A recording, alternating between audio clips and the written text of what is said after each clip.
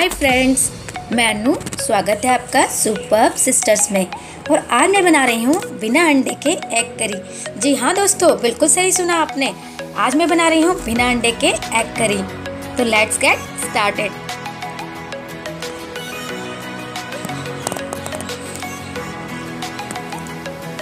बिना अंडे के एग करी बनाने के लिए मैंने लिया है यहाँ पे 200 ग्राम पनीर। इसको पैकेट से बाहर निकाल लेंगे। और अब इसका वन थर्ड पार्ट एक अलग प्लेट में रख लेंगे। इस पार्ट में मिलाएँगे हम थोड़ा सा कॉर्नफ्लोर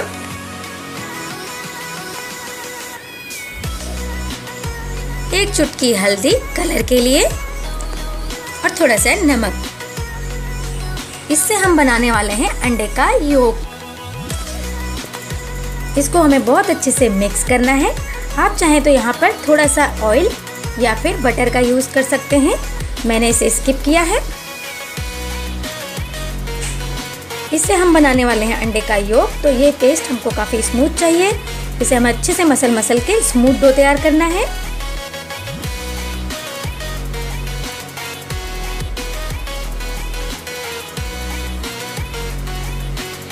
डो रेडी हो चुका है।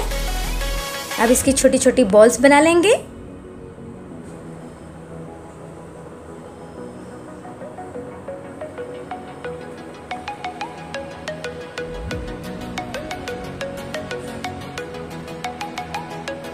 इस तरह से हमें सारी बॉल्स तैयार करनी है।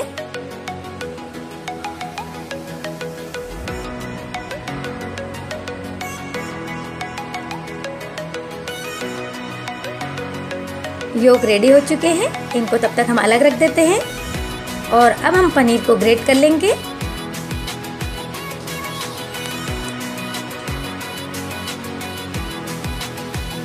बचे हुए पनीर को अच्छे से ग्रेट करना है। साथ में इसमें बॉयल आलू भी ग्रेट कर लेंगे।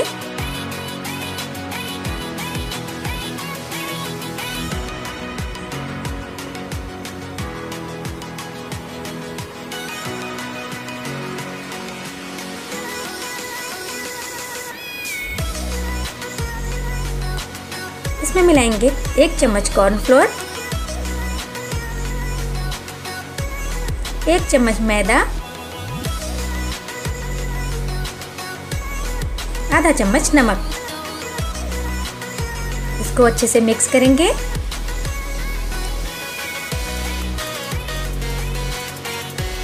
और अब यहाँ पे मिलाएँगे थोड़ा सा ऑयल ऑयल हमें ज़्यादा नहीं मिलाना है, बिल्कुल थोड़ा सा मिलाना है।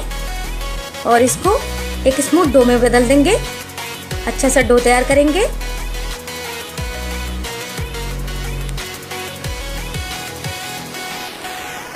काफ़ी स्मूथ डो तैयार हो चुका है।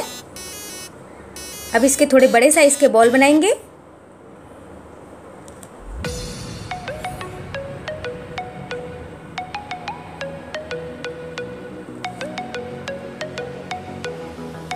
इन बॉल से हम बनाने वाले हैं एग वाइट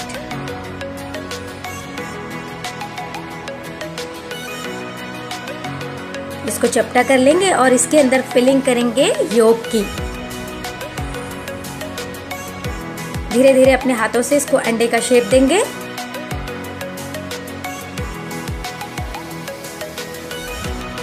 और इन्हें एक अलग प्लेट में रखते जाएँगे। सारे अंडे रेडी हो चुके हैं। कितने क्यूट लग रहे हैं।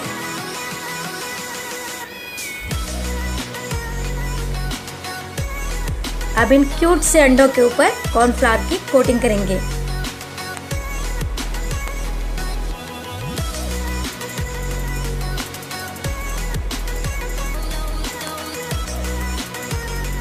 इनको अच्छे से कोट करना है कॉर्नफ्लावर से, ताकि जब हम इनको फ्राई करें तो ये क्रैक ना हो।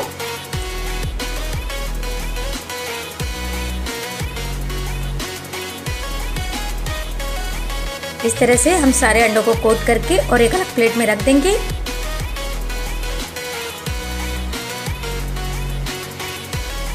छः सात मिनट के लिए इनको सेट होने रख देंगे। अब ये रेडी हो चुके हैं। जब तक ये सेट होते हैं तब तक हम अपने लहसुन, प्याज और टमाटर की प्यूरी रेडी करते हैं। यहाँ पर मैंने दो बड़े साइज़ के प्याज जो है मोटे मोटे चॉप कर लिया है। और इसके साथ ही मैं सात आठ लहसुन ऐड कर रही हूँ। इन दोनों को एक साथ ग्राइंड कर लेंगे। और यहाँ पर मैंने दो बड़े साइज़ के टमाटर लिए हैं, इसकी भी मैं प्यूरी तैयार करती हूँ। साथ ही मसाला तैयार करेंगे। तीन चम्मच मैंने धनिया पाउडर लिया है। आधा चम्मच हल्दी, आधा चम्मच लाल मिर्च पाउडर, आधा चम्मच गरम मसाला, कसूरी मेथी और ये कश्मीरी लाल मिर्च है। इसका यूज़ मैं बाद में करूँगी। ये कलर के लिए है। और साथ ही मैं ऐड कर रही हूँ एक चम्मच बेसन। बेसन से हमारी ग्रेवी में थिकनेस आएगी। इधर मैंने ऑयल गरम करने रख दिया था ऑयल गरम हो चुका है तो इसमें एक एक करके धीरे धीरे अंडों को डालेंगे।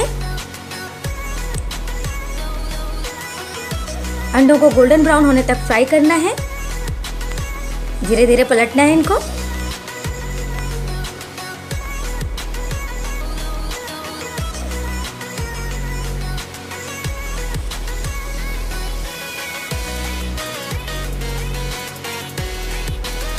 अंडे गोल्डन ब्राउन हो चुके हैं तो चलिए अब इनको निकाल लेते हैं। एक्स्ट्रा ऑयल जो है इसका निकलने देंगे। और अब इनको ट्रांसफ़र कर देते हैं एक टिश्यू पेपर पर, ताकि एक्स्ट्रा ऑयल जो है टिश्यू पेपर पर लग जाए। और अब दो बड़े चम्मच सरसों का तेल लेंगे। तेल को तब तक गरम करना है, जब तक कि उसमें से स्मोक नहीं आ जाता। तेल गरम हो चुका है, तेल में से स्मोक आ रहा है। तो अब हम इसकी लो को कम कर देंगे और इसमें अपना प्याज और लहसुन का जो हमने मिक्सचर तैयार किया था, प्यूरी तैयार की थी, उसको डालेंगे। इसको हमें फ्राई करना है गोल्डन ब्राउन होने तक। बीच बीच में मिक्स करते रहेंगे, नहीं तो ये जल जाएगा। प्याज जो अच्छा से गोल्डन ब्राउन भून चुका है तो इसमें टमाटो प्यूरी ऐड करेंगे।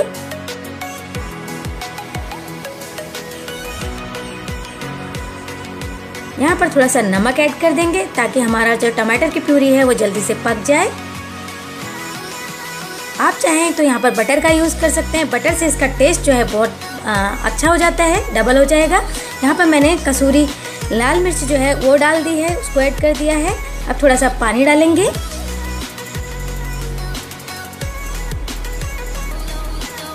मसालों ने ऑयल छोड़ दिया है तो अब इसमें मसाले डालेंगे।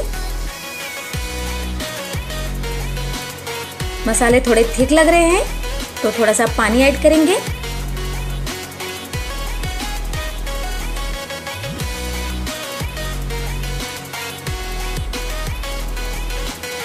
मसालों को ऑयल छोड़ने तक फ्राई करेंगे। आप देख सकते हैं मसालों ने ऑयल छोड़ दिया है तो आप पानी ऐड करेंगे और इसे अच्छे से मिक्स करेंगे।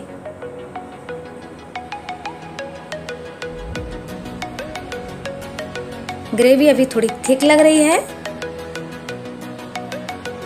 तो मैं यहाँ पे थोड़ा सा और पानी ऐड करूँगी। इसको मिक्स करेंगे। पानी में उबाल आ चुका है ग्रेवी में तो ऐड कर देंगे अंडे।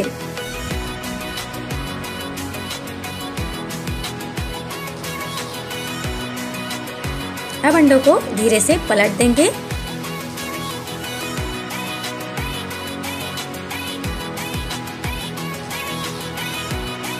दो तीन मिनट हमें इस ग्रेवी में अंडों को पकाना है ताकि अंडे जो हैं, वो मसालों को एब्जॉर्ब कर लें, मसालों का टेस्ट उनके अंदर अच्छे से आ जाए।